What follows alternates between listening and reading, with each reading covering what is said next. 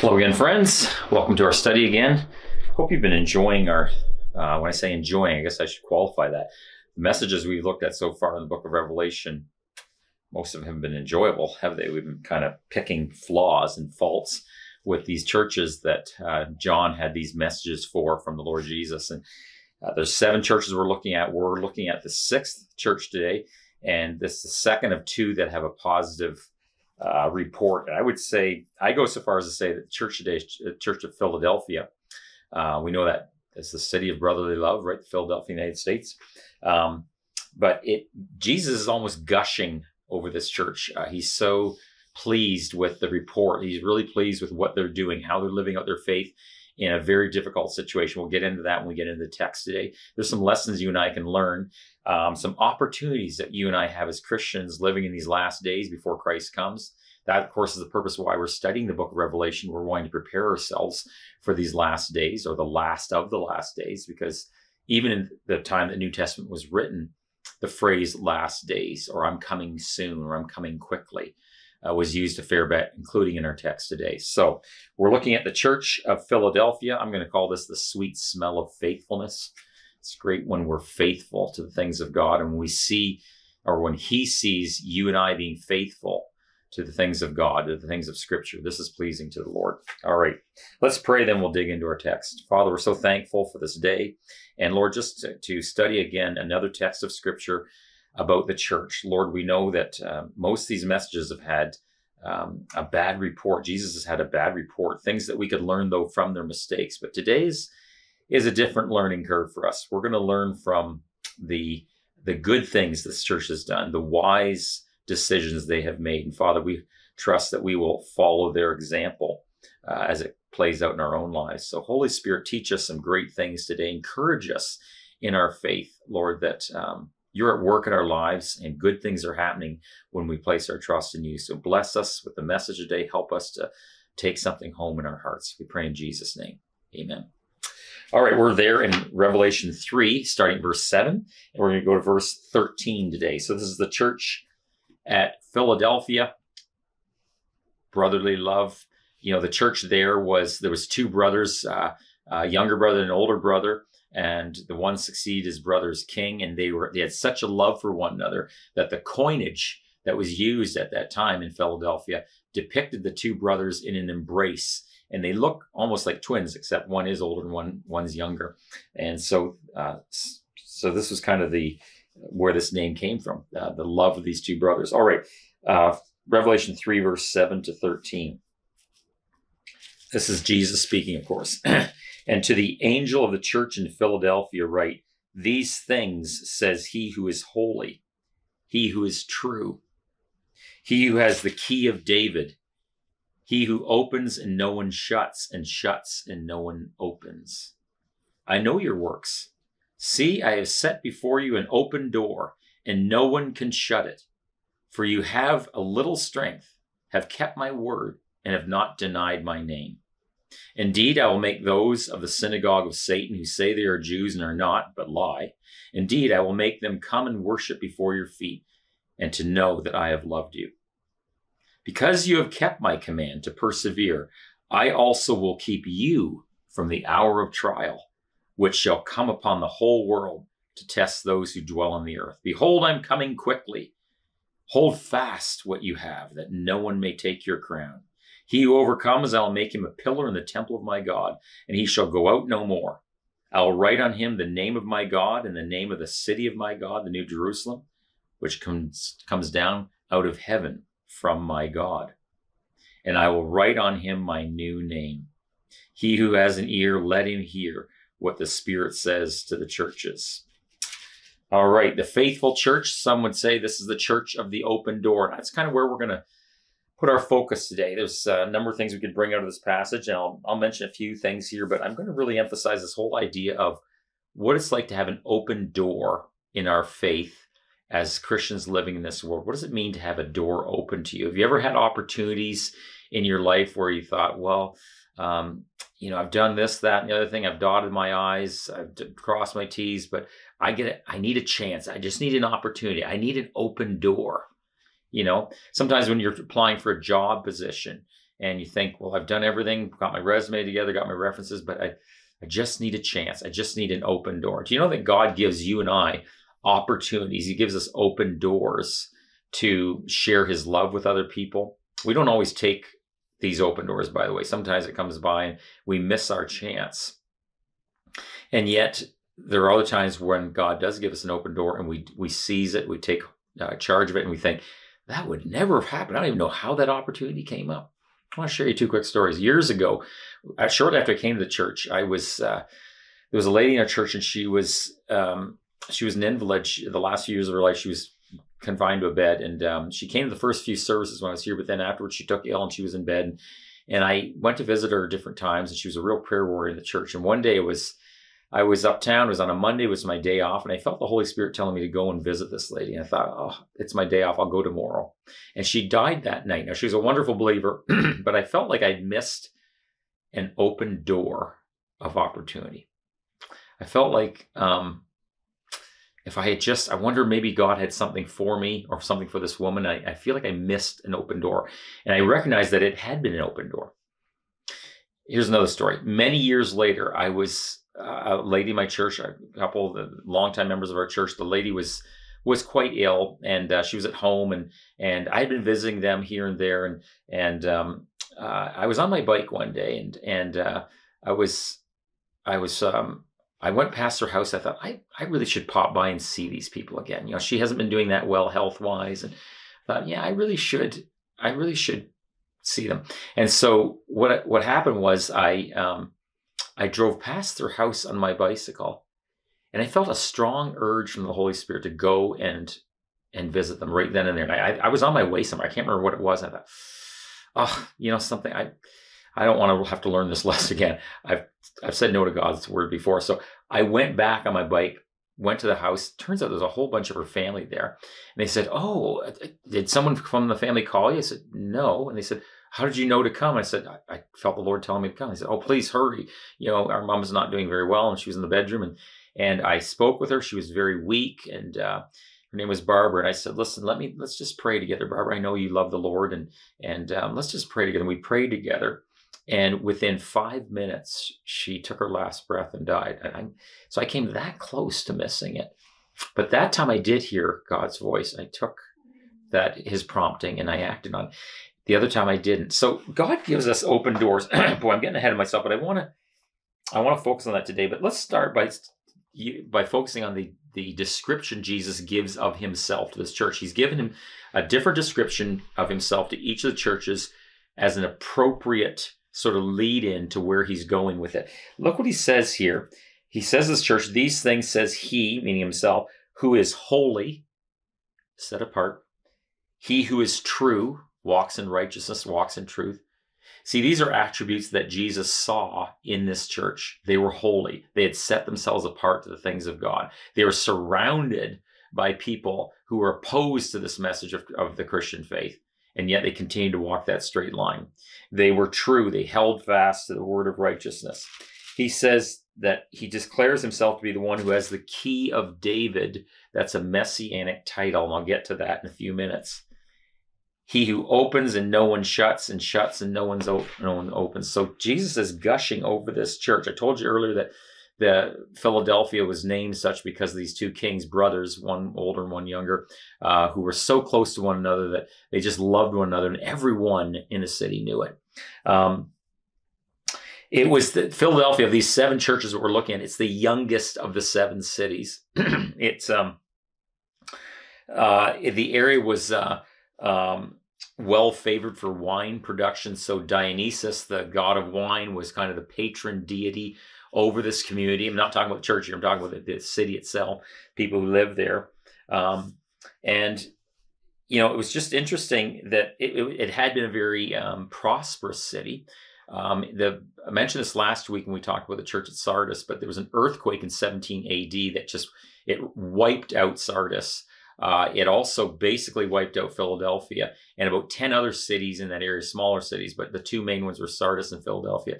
Tiberius, who was the emperor at that time, actually showed some some mercy and financially supplied those cities with the ability to to uh, rebuild their cities. So Philadelphia was rebuilt with Tiberius's help from the royal treasury there, um, but they never really did attain to the uh, the wealth that they had prior to the earthquake. Also, where they were situated was kind of on a plateau area, and it was. Uh, uh, they had a nickname for it. There's a Greek word for it, but the English translation is the burned land. And it was called that because it was there was a lot of volcanic activity there. So there was quite a few volcanoes so the land was scorched because of that. And there was a lot of earthquake activity, a lot of seismic tremors and this type of thing. So much so that the people of Philadelphia were scared to live at home. You know, so there'd be an earthquake. Of course, the one in 17 AD was very significant, but there were other earthquakes as well. And so people would have this earthquake and then and then they would wait for the aftershocks before they would move back home. But a lot of people, many of the people in this city were too scared to move back home. So they actually lived in tents and huts on the outskirts of the city. Some of them lived in their house during the day and then left at sundown and stayed in the tent outside the city because they were afraid to be in there overnight in case another earthquake happened. So, so there was this kind of uneasiness over the city, um, and yet it was a city that uh, the church that was there was strong uh, despite these physical things that were causing uh, duress on people and the the the fact that there was a lot of persecution. Let me pick up on that. Um, verse 8 of our text says, I know your works, Jesus said. See, I have set before you an open door that and no one can shut it. For you have a little strength. You've kept my word, have not denied my name. These are people that were standing strong for the faith despite there was persecution going on. A lot of the persecution were Jews who did not like those in the church because they were declaring that Jesus was holy. That was the that was a t- title, you know, holy and true, which is what Jesus says about this church, were terms that were used in the Old Testament to describe only God. And so Jews did not appreciate these Christian people being called this or, or having this title. Um, in fact, Jesus says in verse 9, Indeed, I will make those of the synagogue of Satan who say they are Jews and are not, but lie. Indeed, I will make them come and worship before your feet and to know that I have loved you. So these other Jews, a lot of Christians in the, the Philadelphia church were Jewish Christians, meaning they were Jews who had come to understand Jesus as Messiah. And when they did that and gave him the rightful place that scripture gives him, the Jews that were not converted to Christianity really ramped up their persecution. So it was very difficult for them. So they kept doing the good works of God. They were maintaining the righteous stance before Him. Um, they they were unmoved in that. Uh, verse ten: Because you have kept my command to persevere. So they were persevering amidst affliction and persecution from those around them, uh, amidst the, the, the, climate of the city with this fear and anxiety because of the earthquakes, uh, the volcanic volcanic action, this type of thing. So there was they were able to persevere through all these sort of different trials that were coming their way. He says there uh, in verse 10, I also, because you you have persevered, I also will keep you from the hour of trial which shall come upon the whole world to test those who dwell on the earth. Now, that is an allusion, that verse 10, to the chapters you and I are going to study subsequent to the churches of Revelation here, starting at chapter 4, the tribulation period that's coming on the earth. So that's a definite allusion to that. He says, You've, you've persevered, you've kept the faith, You've not thrown in the towel. You've not given in to what to the idolatry that some of the other cities have. No, you you've maintained the a straight course here, and I'm going to keep you from this hour of testing that the whole world's going to have to go through. That's definitely good news. You and I might even say, is this a, re- a reference to the rapture of the church, where the church is caught away before the great, you know, wrath of God is poured out? Well, we're gonna we're gonna dive into that in weeks to come here. Um, let's talk a little bit about this open door thing. That's kind of where I want um, us to, to land today. Um, this why was it called an open door? Well, the, the church itself, Philadelphia as a community, was an open door. it was, I'm not talking about the church here specifically, I'm talking about the community itself. Philadelphia was on a plateau that was a crossroads to the rest of Asia Minor. So it was kind of on a plateau there. Uh, and it was a place where it was easy to propagate the Greek culture, the Hellenistic message, the, the culture and language of the Roman Empire. So it was like a conduit to all the rest of Asia Minor. So it was why it was an open door to propagating, evangelizing, if I can use that word, the Greek culture and language, the Koine Greek, the common Greek, uh, to be prevalent across the entire Roman Empire, and in particular Asia Minor, that part of it. Turks and Muslims swept across this area. Um, and tried to persecute and take it over, but but they held firm in their faith. And that wasn't until the middle of the 14th century uh, before they it fell to these these other hands that were non-Christian. But but the fact is they were able to persevere, and so from a, a political and cultural uh, standpoint, Philadelphia was an open door to Greek culture for the rest of Asia Minor. And Jesus is saying, just like the city has that reputation, I'm saying to you that you, the church, will be an open door to the propagation of the Christian message across this entire region. So let's discuss that whole open door. He said it was a door that no one could shut. If God opens a door in your life, no one's going to be able to shut it. That's that's the good news. Uh, let's look at this door from two two angles. Let's look at it as a door, first of all, of salvation. Now, that term where Jesus describes himself as the one who has the key of David. He said that in verse seven. He said, uh, "These things says He who is holy, who is true, He who has the key of David."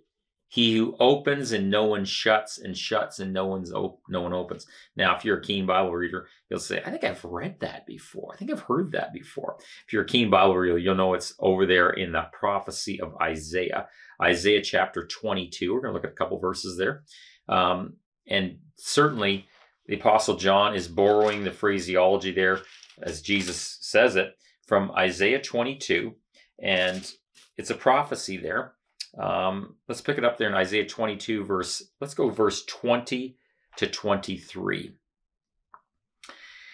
Isaiah says this Then it shall be in that day that I will call my servant Eliakim, Eliakim, the son of Hilkiah. I will clothe him with your robe and strengthen him with your belt. I will commit your responsibility into his hand. He shall be a father to the inhabitants of Jerusalem and to the house of Judah. The key of the house of David I will lay on his shoulder. So he shall open, and no one shall shut, and he shall shut, and no one shall open. I will fasten him as a peg in a secure place, and he will become a glorious throne to his father's house. What does that mean? That's that's a pretty uh, amazing thing. This prophecy. Who is this guy Eliakim? He was like a servant to the king, uh, and and and what's his role here? It says that that God says, I'm going to put on you the key of David. That's a messianic role. I want to read you something of explanation from this book, Discipleship on the Edge. Um, our author here, Darrell Johnson, said this um, Eliakim, steward of the riches of King Hilkiah, is given authority to open and shut the door to the house of David. That's the lineage that Jesus came in, right? To what does the house of David refer? In reading the rest of Isaiah, we discover that the house of David is a shorthand way of referring to the kingdom of God, to the city of God, to the temple of God, to all the riches of God and King, or God the King. Jesus Christ is like Eliakim, a steward, the steward of the great king. In fact, he is the great king, and he has the key, the key of David that unlocks the door to all the riches of the living God. Look, I have put before you an open door. By his death and resurrection, Jesus has opened the door to all that the living God is and has. He says the key of David, of course, it's a messianic title talking about the lineage of Jesus and the life of Jesus. It says that I like what what what Johnson said here. Um, by his death and resurrection, Jesus has opened the door to all that the living God is and has. This church, Jesus says, you are opening the door for the people of this whole area of Asia Minor to hear about the riches of Christ. Let's look at a uh, key verse there. Uh, Matthew 7, verse 13 and 14. In the Sermon on the Mount, Jesus said something very important uh, for you and I to understand because this whole idea of a door leads to a roadway, leads to a path, leads to a route that is to eternal life. And Jesus said there were two choices about that road. Look what he says in, in uh, Matthew 7, verse 13 and 14. Enter by the narrow gate, for wide is the gate and broad is the way that leads to destruction, and there are many who go in by it.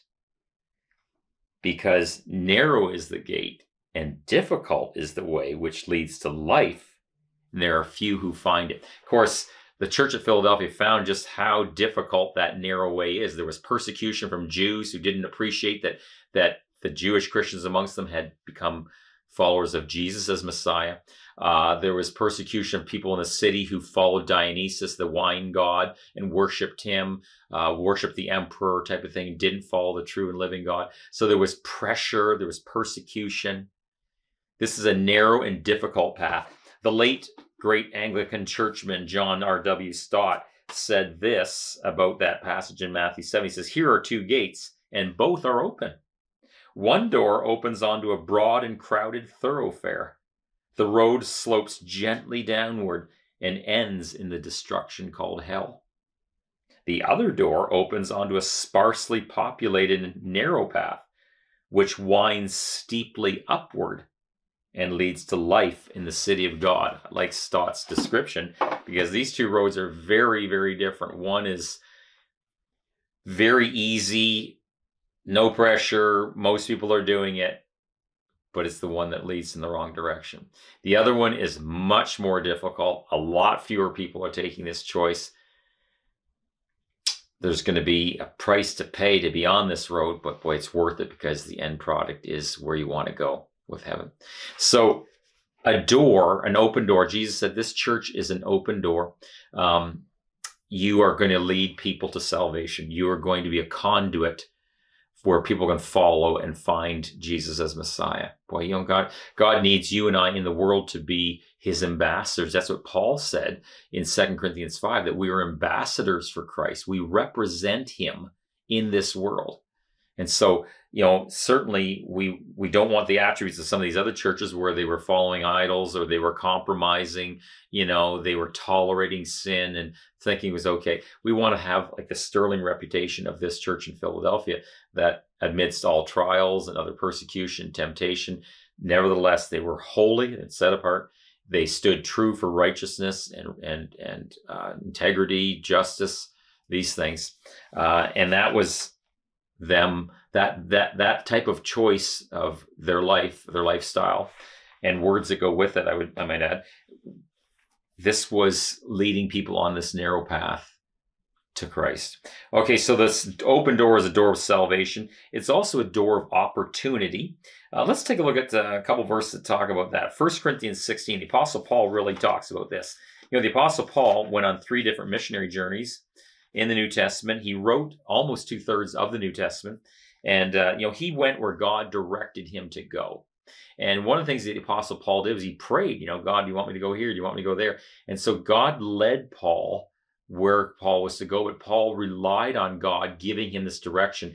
And in many cases, it's like, I, God, I need you to make a way for me. I need you to, to open a door for me. You know, sometimes I've prayed for people and say, in the hospital, and they're they're they've got a dire situation with their health, and they're thinking, "Man, I I need this emergency surgery," but there's the the surgeons that are that would be able to do the surgery. There's very few of them. They're not available. God, I need an open door I need an open door uh, to get access to this medical help that I need. So I've prayed for different people in that way where I've asked God to open a door of opportunity. Maybe they need a surgery. Lord, would you have a cancellation or something so this person can get their uh, date for the surgery earlier than the date they've been given?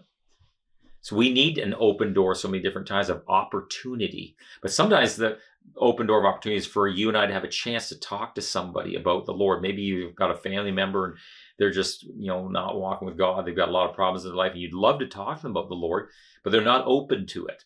you know, if you ever decide to try to talk about it, they'd be like, uh, no, don't even mention God's name. I've been in situations where people said to me, don't even mention God's name in my presence. I don't want you to pray. I don't want you to mention God's name at all. So then you have to say, then now what do I do? Well, here's what I've done. I just say, Lord, I, I love this person. I know they need the Lord in their life. Oh God, would you just open a door of opportunity? Sometimes it's common ground in another area, you know. I've had conversations, deep spiritual conversations with men in my life who had no interest in God whatsoever prior to me meeting them, but we played on the same soccer team or some other common interest. Let's look what Paul says in 1 Corinthians 16, verse 7 to 9. He says this For I do not wish to see you now on the way. He's talking to the Corinthian church. Don't wish to see you now on the way, but I hope to stay a while with you if the Lord permits. I will tarry in Ephesus until Pentecost for a great and effective door has opened to me, and there are many adversaries. Paul says, I could go here, but you know something? Another door that I've been waiting for has opened to me. Well, he means God has opened the door for him. And there's a lot of adversaries, but these people need to hear the gospel. And I need to make hay while the sun shines, as some people say. I need to strike while the iron's hot. A door has opened to me. Let's give me. An, uh, let me give you another example. Second Corinthians two, verse 13, 12 and 13. Um, Furthermore, when I came to Troas to preach Christ's gospel, and a door was opened to me by the Lord, he said, I had no rest in my spirit. He goes, I would came to Troas, and then a, door opened to me. I, I, wasn't expecting it. I was, you know, out of nowhere. Sometimes this happens. God interrupts your life, my life. He interrupts the plans that we've made because he's got another door over here, and he wants us to go through this at this time give you one more verse in the book of Colossians, chapter 4, verse 2 and 3. The Apostle Paul, writing to the church in Colossae, he asked for them to pray for him because he's going on these missionary journeys and he's got to minister to different people. And somebody says in uh, Colossians 2, verse, sorry, Colossians 4, verse 2 and 3. Continue earnestly in prayer, being vigilant in it with thanksgiving. Meanwhile, praying to, uh, sorry, praying also for us that God would open to us a door for the word to speak the mystery of Christ for which I also am in chains. He told the church in Colossae, I don't want you to just sort of sit on your hands and do nothing. I, I, I need you to pray for me because there's opportunities out there, but I'm blocked from them and I need access to them. So I'm asking you, would you, would you pray for me? So he says, praying also for us, that's Paul and his team, that God would open to us a door for the word to speak the mystery of Christ, for which also I'm in chains. Prayer unlocks a lot of doors. Maybe you're sitting here, we're going to bring this to a conclusion today. Maybe you're sitting here today and you're saying, I need some doors open in my life. I got some people in my family that we need a breakthrough. We need we need a door opened. Or I would like to people that I work with or, you know, people in my neighborhood to know more about Jesus and, and they're making choices in their life that are not productive, they're not helpful. God, please help me to, you know, please open a door for me to bring that opportunity to them. This church was faithful in serving God, and God says, I'm gonna I'm gonna open doors that nobody can shut. You're gonna be able to go to places you never thought possible. There's a, a, verse in Proverbs says, "A man's gift makes room for him and ushers him before great men." You know, something God has opportunities where He wants to use you. Yes, little old you. You may think, "Would God use me?" God can use anybody if we're available and we're willing, and we're serving God. God's going to open doors for us. Let me pray for you, Father. We thank you that our, we live in a world where so many people do need Christ as their Savior. Many are making choices that are not healthy, not productive, and they're far from God. And Lord, we're looking for ways, we're looking for an open door to bring the message of Jesus to people in word and in deed. And I'm praying for everyone in the sound of my voice today, Lord, that they would experience a breakthrough. They would they would feel like the hand of God is on them to open a door for them to bring the message of Christ to somebody and just give them opportunities they never even thought were even possible. In some cases, it may be uh, favor with a medical situation coming up or a financial situation. I pray, God, that you would open doors everywhere for us as we serve you valiantly, even as this church did. Encourage us with this message today, Lord. You are the God of the open door, and you called us to be the church of the open door. You want to give us opportunities to walk through. We pray that you'll provide those for us. We pray in Jesus' name. Amen. All right, that was the good news. We're going to end the series, this part of the series in Revelation, on a church that, oh, we got to learn from their mistakes. You join us next week. We'll talk about that. See you then.